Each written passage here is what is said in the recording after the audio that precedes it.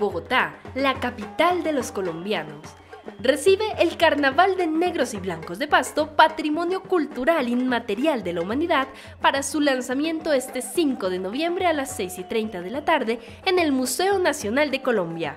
Invita a Alcaldía de Pasto y Corpo Carnaval con el apoyo del Ministerio de Cultura.